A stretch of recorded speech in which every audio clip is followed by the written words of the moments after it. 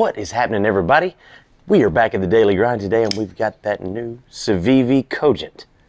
This thing is really cool right here. It is a button lock, and we've got them in a bunch of different finishes, all with the black coated 14C 28N blade. This one's coming in with the Jade G10 handles. We've also got it in purple, in black. We've got it in micarta. We've got it in jade with the serrations. We've got it in red and black with the serrations. You can pick these up starting at $70 right here at SMKW and online at smkw.com.